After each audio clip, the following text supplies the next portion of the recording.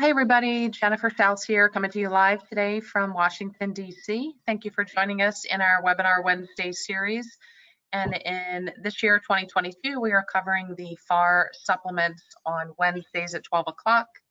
Uh, we have uh, guest speakers who have put together presentations for us. And uh, just as an FYI, we now have over 500 complimentary webinars on our YouTube channel. Uh, sponsorships are available.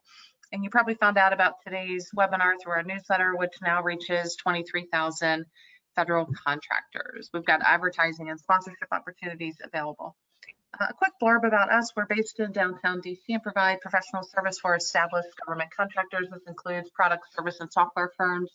And we primarily help them with GSA schedules. Other services are listed here on the screen. You can find more out about us on our website under the About Us section.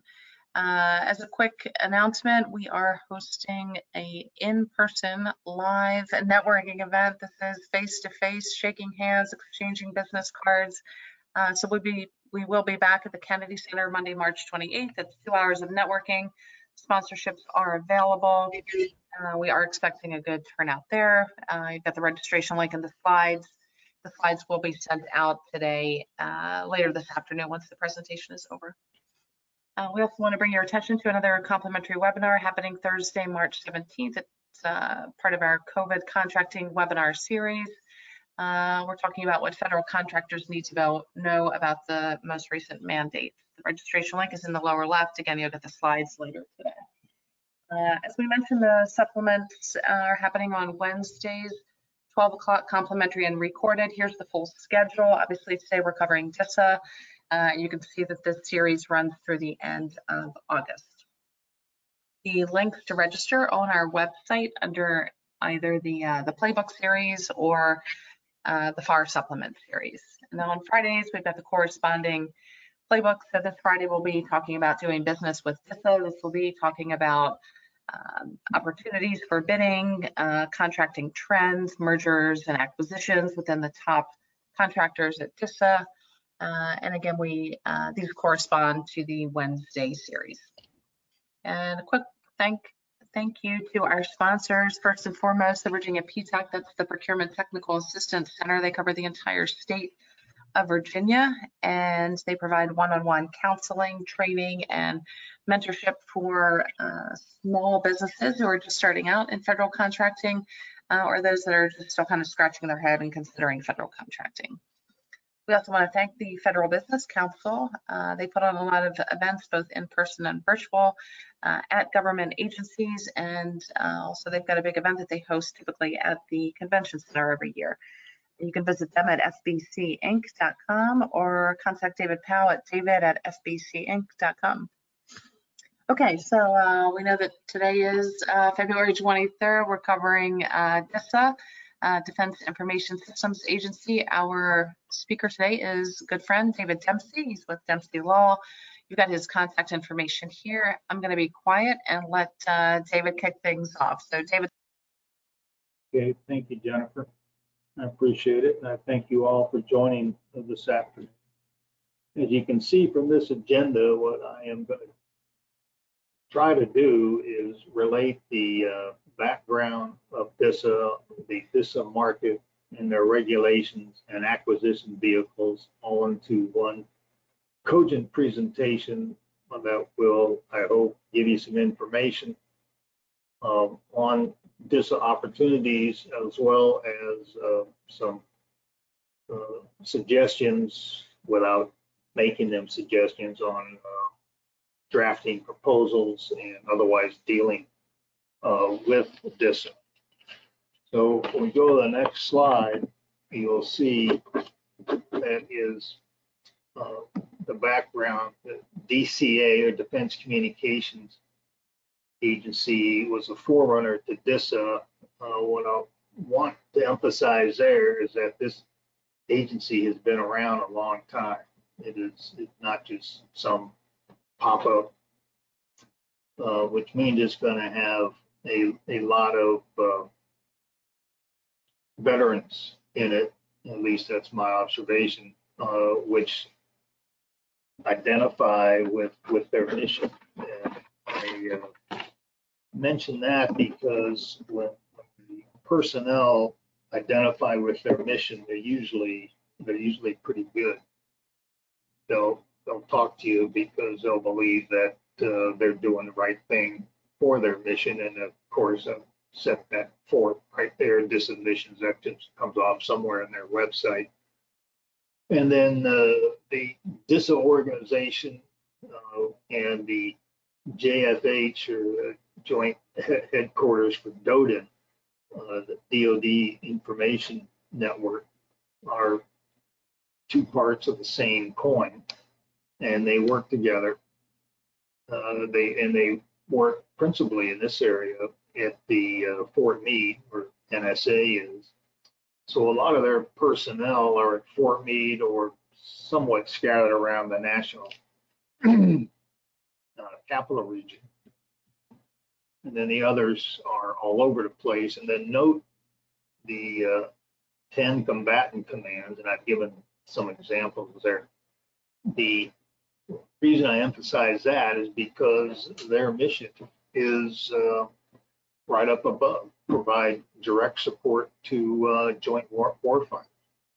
Again, emphasizing their desire, at least uh, on paper and in my experience with uh, dealing with, with this.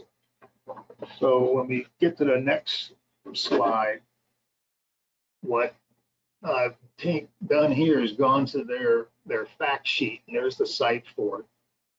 And there's 34 programs that they identify on that fact sheet, although I, I have to tell you, from what I can tell, a couple of the uh, so-called programs have, have merged together.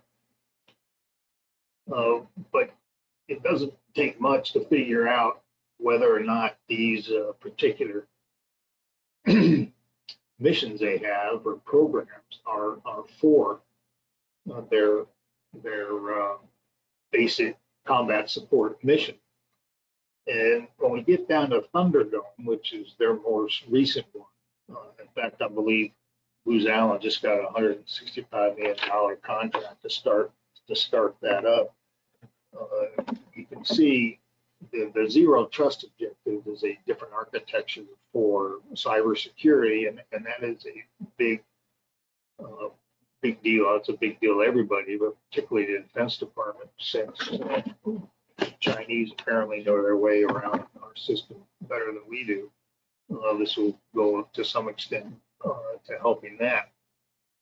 And then on the, the next slide, I just sum up the the background and the history with uh, these four um, items. The DoD Information Network, or DODIN, is uh, what they try to focus on. Is what they do focus on. So DISA focused on it, and what DITCO uh, focuses on. And they have classified and unclassified work, and that's going to be the NIPRNet and the SIPRNet. And I'm mentioning this because it all goes into the Defense Information Systems Network, or DISN. Uh, and that's the information network of backbone.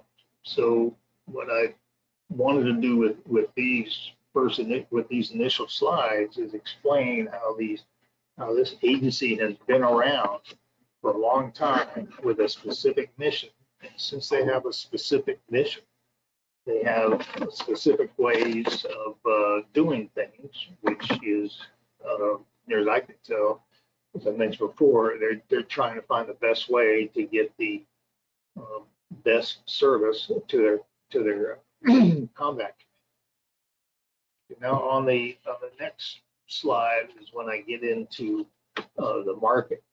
And DITCO, which is the Defense Information Technology Contracting Office, which has two main offices, uh, one in uh, Scott Air Force Base, another one in the National Capital Region. Um, I identified one of their, one of two, uh, uh, excuse me, web, web links I'm going to get to, but this is their procurement forecast. Now, every agency has to put out a procurement forecast. Uh, but this is, seems to be a little better. Um, and I've given you some links so you can see how that is. I'll- I'll get to that in a moment. But here's the way DISA buys. If you look down at the bottom, see they have 19.9 billion available for FY 2021, and it's broken out into appropriations and the Defense Working Capital Fund. The appropriations is 25% of that, and uh, in this this year, their estimate is that the working capital fund is going to be 75% of that 9.9 billion. And keep in mind that that's a, uh, a budget estimate uh, from DISA based on, on their experience and they're canvassing the agencies uh, that they're going to purchase for, principally defense agency. The, the point being that the FMR, which I have in the first small bullet, which is the financial management regulation, is uh, whether DISA likes it or not, is a, is a, going to be an element that they have to pay attention to. Uh, certain requirements Disabut, excuse me, the, the DoD FMR is, is about the longest set of volume that I know of in the, in the Defense Department. It is uh, eight or nine multi-hundred pages in each one. It takes a long time to work with that and um, use it against GSA and the Army one time. It worked pretty well because the Army wasn't doing things correctly through the through the uh, schedule by they wanted. Uh, and then there's this DISA instruction. That's what DI means under with 600-30-04, and that's how DISA is going to do the uh, working capital fund. Again, it's uh, something to keep in mind when you're marketing these this these companies. Excuse me, these agencies that they buy for. Because those agencies they buy for, the money is coming from the agency. It's not coming from DISA unless unless they show you. Well, excuse me, unless they specifically say that, and in their forecast, they will identify who the customer is. And I use, for example, the, uh, the three business areas that DISA is authorized to use working capital funds. And computing services, telecommunications, and enterprise-wide services pretty much says it all for, for what they do. And then computing services, I'm just trying to give that uh, example to you because that is a, a huge amount of IT stuff. Uh, and I don't think this is accurate. I think it's a little higher than what they, they've got here. Uh, but just the data centers itself would be uh, a, a, difficult, excuse me, an extensive and uh, presumably difficult uh, task uh, year in and year out to handle. Uh, well, I also mentioned the contracting fee. It's just like GSA's contracting fee. And I, I mentioned that because that's what the agencies, when they're working under the uh, working capital fund, uh, they got to keep in mind because their budget is going to pay for 2.25% of whatever services. That, that's an add-on to them. So if you can afford it, your proposal would say, um, here's our cost, here's our proposal, and then at the very end, it says minus 2.25%. That uh, figure just changed. It was 2.5%, a quarter percent. Again, uh, for large scale marketing efforts, if you look at the next slide, you get an idea on what this buys in terms of NAICS codes. And then on and on the right side, you, this is uh, 2020 data. Uh, you can see how many contracts, percentage, et cetera, and the total dollars. And you get up to a, uh, a useful, uh, useful overview of where you may want to uh, focus uh, your efforts on. And then we go on real quickly to an emphasis uh, on the next slide to small businesses.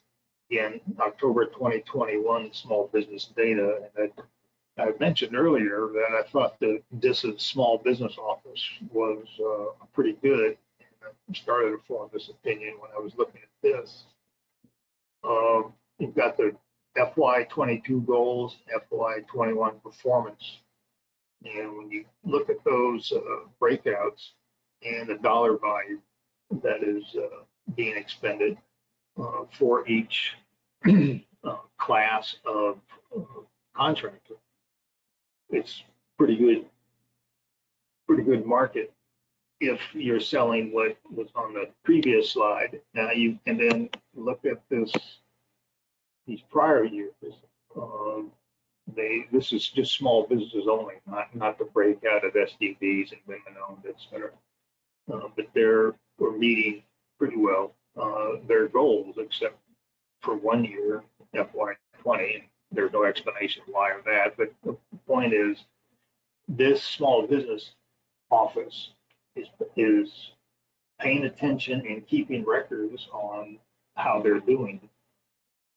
Uh, to a lot more detail than, than is required just with the, uh, uh, the statutory goals, you know, twenty-three percent for, uh, small businesses, et cetera. Uh, So that means that these guys, these small business people, wherever they're located, may, may be able to help you, um, get started either with direct sales or, uh, subcontracting. So on the next slide, this is what these uh, websites, these web links and the forecasts will tell you.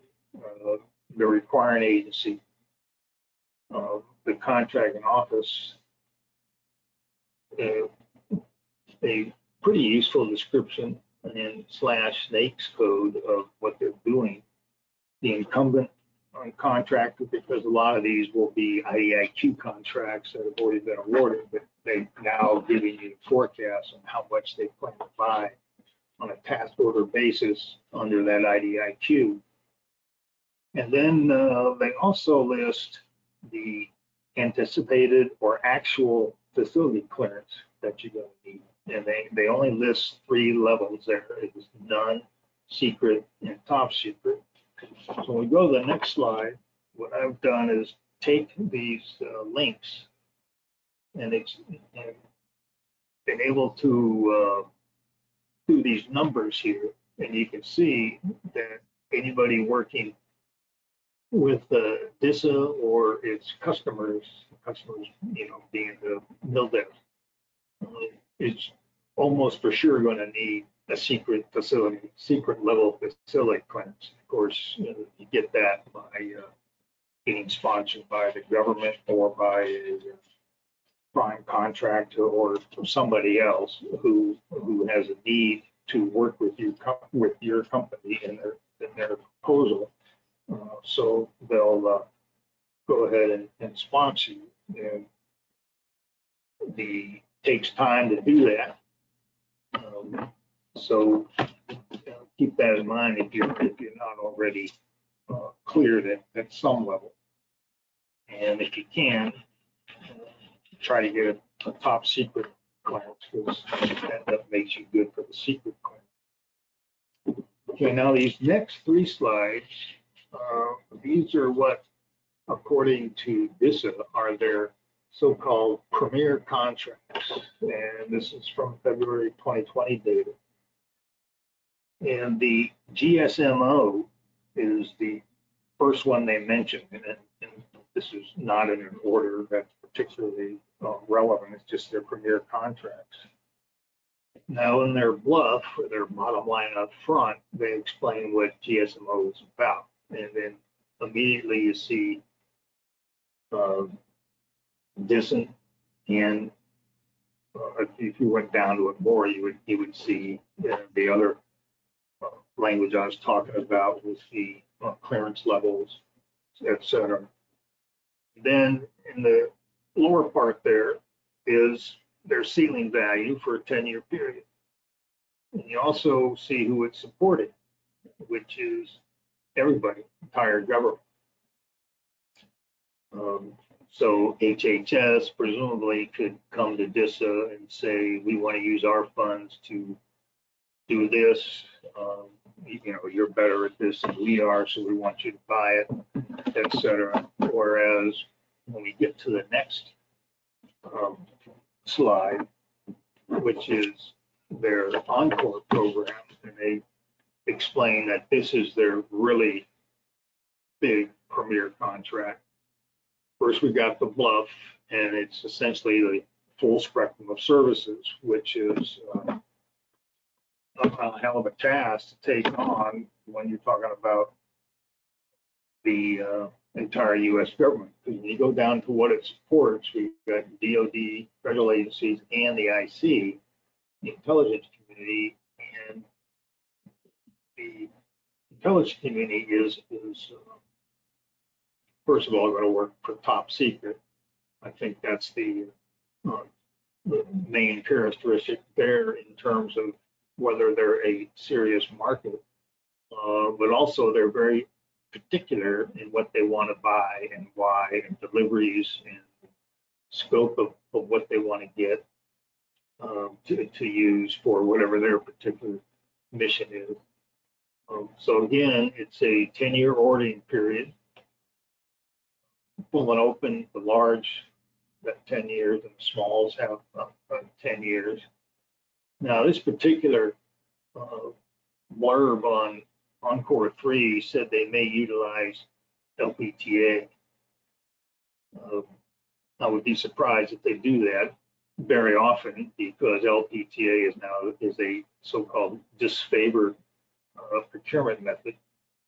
So virtually, and, and all that comes under Part 15 for negotiations, uh, it's essentially a, a low and go, and I don't believe that you'll be seeing all that. Now, that's just my opinion, but I, I mention that so that people who see something under Encore 3 uh, will will take heart that the explanation may refer to LPTA, but it's not going to necessarily mean they will use it. And then the- on the next slide is their last uh, so-called premier uh, contract. And you'll notice this is the Ditco Systems Engineering Technology Innovation, where the other ones have been uh, DISA.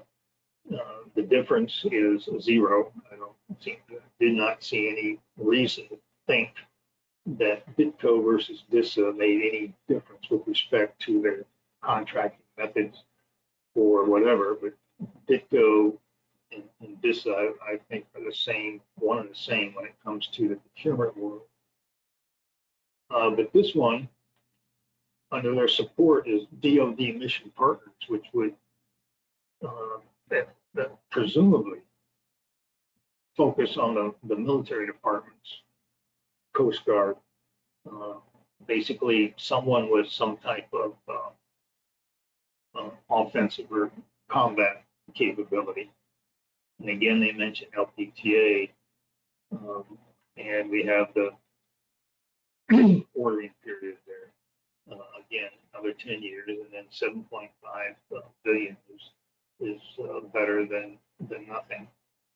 And then uh, I give the website where I got all this information from on these three. Uh, and now we turn to the to the next slide, and it tells you all the other vehicles they use. There's a lot of GSA involvement down there. Everybody's heard of Oasis and Stars 3, et cetera. Um, The reason I mention that is because if uh, your company is just starting out or has a very peculiar uh, specialty in terms of the IT world, then it may be that DISA is buying something through the GSA schedule. DITCO is buying something through the GSA schedule. So that would be two things uh, that you would confirm, is that something you sell is on the schedule, and you may be on the schedule already. And then, since this uh, support um, contract or support effort, uh, you wouldn't, you wouldn't go to uh, Scott Air Force Base and market. He would go to an Army or an Air Force base and uh, a Navy facility and say, this is what you guys need. Let's try to get it away. Let- Let's try to buy it under the uh, working capital fund. And of course, I'll give you 2.25% off.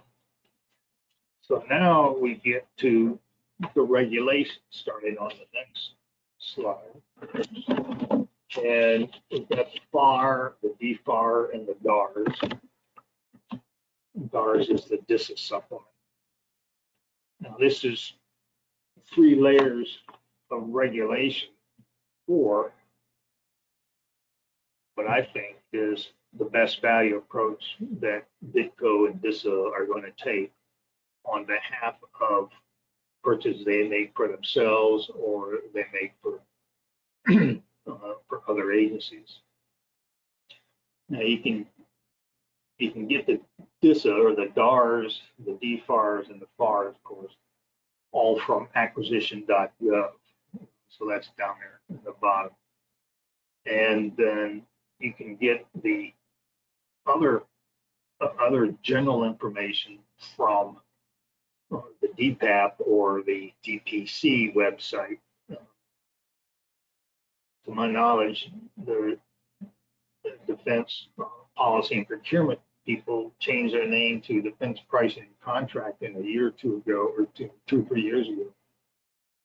And then uh, they haven't gotten around to changing their their website because people like myself still refer to them as DPAP. So now on the next slide, I go into an explanation of the DARS. And it seems pretty clear that the best way to describe how the DAR supplements the FAR in the DFARS is to explain what it does not have any language on. If you went to part 14 of the DARS, it would say no text. Same with emergency acquisitions, foreign acquisitions, other social and economic programs, which is uh, usually Buy Indian Act or that sort. Uh, cost accounting standards and cost principles. I think any experienced contractor is well aware that we got a lot of guidance on that and don't need a, a supplement from uh, DISA to assist on that. Um, it's a little surprising to me that R&D contract in Part 35 and the uh, federal supply contract in Part 38 also had no text, but under under the DARS, there is some information related to the schedule in Part 8, which is sort of where it shows up in the FAR and the DFAR. And then since R&D contracting can be a big part of uh, of the the Ditco purchases, I was just a little surprised at that. And then part 52, there's nothing there either. That was very surprising, and I'll explain that, or excuse me, I'll address that uh, in, in a few minutes because I can't explain it. Okay, so we go on to two things I noticed on the next slide. I noticed that the Part 10 market research. This is, again, where I think this small business office is doing something a little bit more. It says that the estimated value exceeds 5 million, then the market research and whatever document they're going to have to explain to small business people is, is essentially going to say when when we uh, when, we the buyer are going to buy this, small business wants to make sure that that the potential sources quote unquote are not requested to submit the admin information necessary. Now the FAR says the uh, the is the the admonition is make sure that you don't ask for more information than necessary. Same with the DFAR. Uh, but this is the only agency that I could find, and I, I checked real quick, uh, where it says it's over five mil, it's going through Office of Small Business first. And the site there is DARS ten point zero zero one B. And then on part twenty-seven, it seems that, uh, DISA was, was rather proud of this, but they are the only, uh, agency I've seen that covers trademarks. Occasionally, an agency will just use a trademark. There was a recent court of federal claims case on that. And, and, you know, court, like you might imagine, in the absence of any authority, court said, you know, what are you doing? And can't do it. But DISA uh, is reserving a right to use a trademark or service mark if it was created under a contract. I can't think of any examples uh, offhand that would try to make that uh, useful, but it is something uh, to keep in mind that they pay enough attention to their intellectual property at to carve out that particular uh, element of uh, trademarks, because the patents, data, and copyright, you know, at least on data and copyright and in, in the FAR patents, we've got, we've got a lot of guidance on that already. So again, when we go to the next page, we get into the um, DISA instructions. We're going to do instructions here, and then we do circulars on the next slide. But here on the instructions, uh, there's, under that link, there's 57 DISA instructions. And you can see the time frame, time breadth that they've done, they've issued instructions on.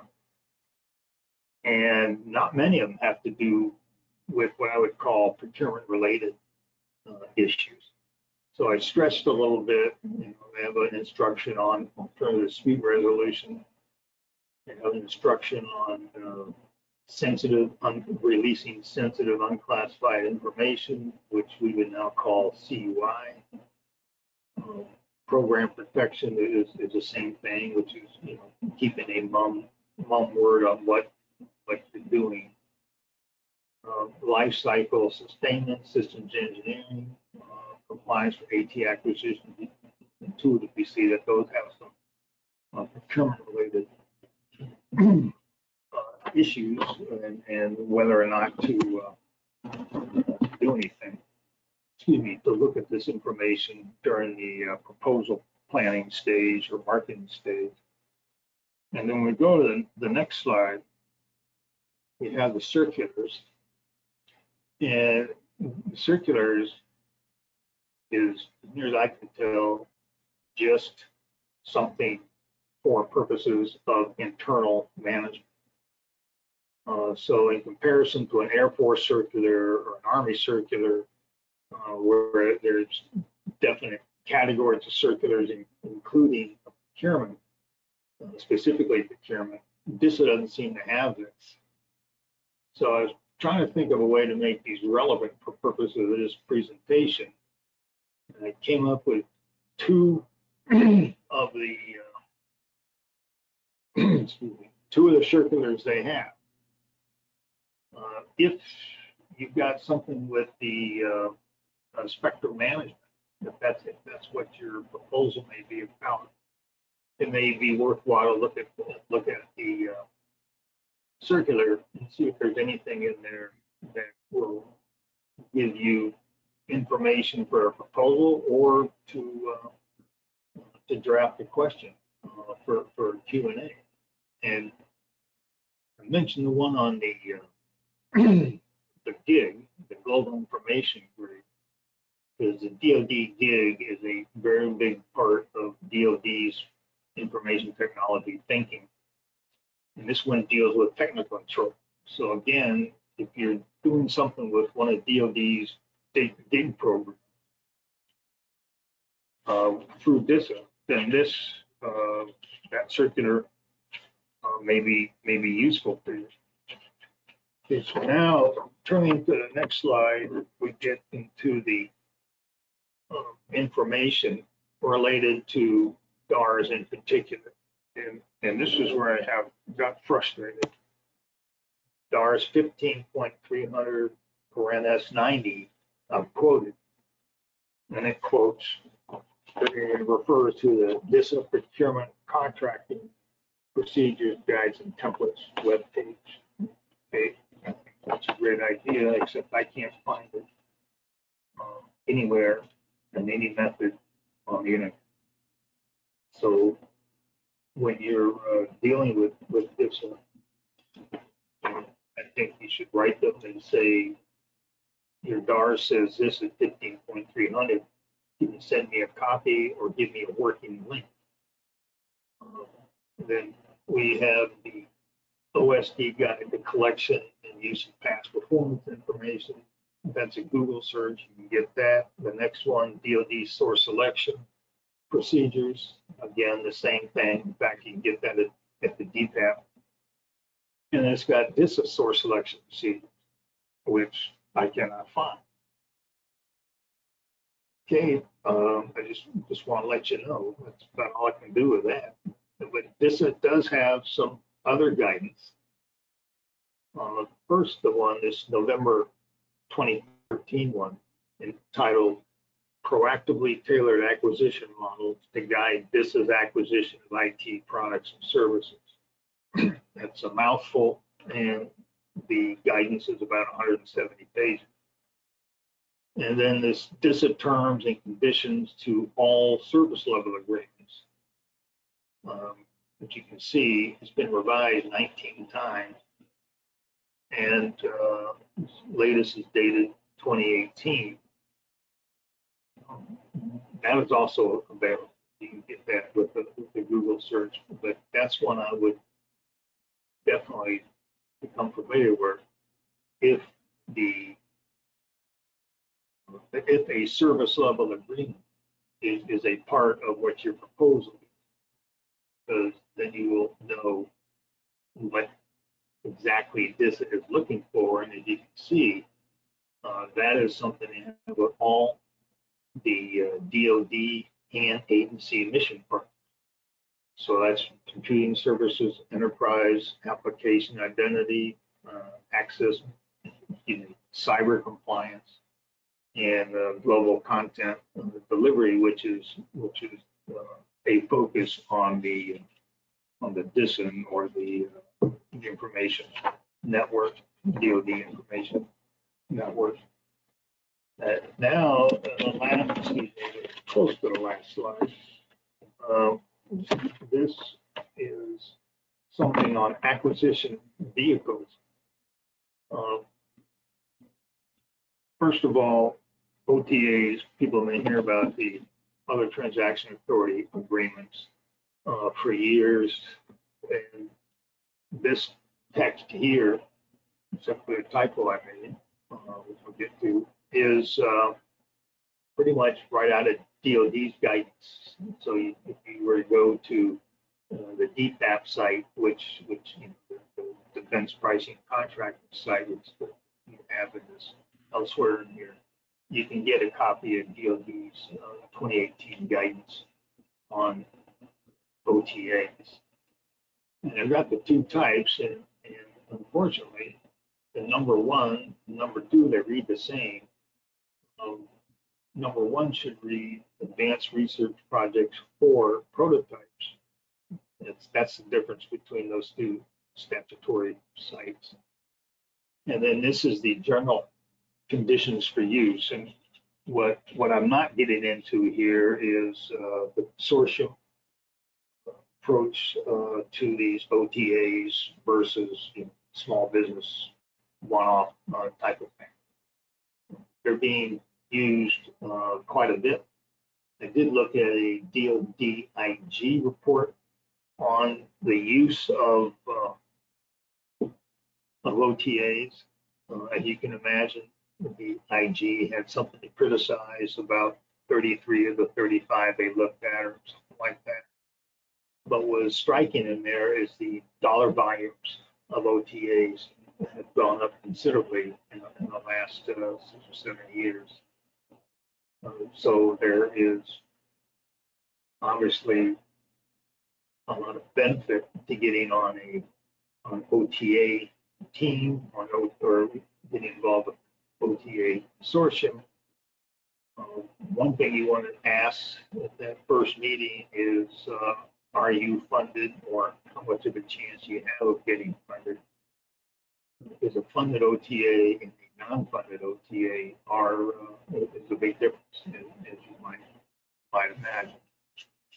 Okay, now the next slide shows a new, relatively new acquisition vehicle that I am predicting DISA and DITCO will use a lot.